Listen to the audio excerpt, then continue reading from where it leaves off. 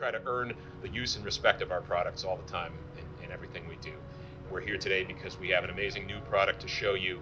We're really glad for the opportunity to do it here. We, we hope it reflects well on what we've been able to build, but we really hope it reflects well on what Elizabeth has been able to do to protect the people of Elizabeth and all the surrounding areas that they also help out with with their program.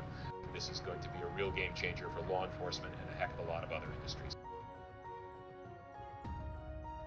Recently, we've used our, our programs for locating lost and missing people, for the apprehension of criminals, but for most importantly for officer safety. That's our one of our main concerns in, in our deployment.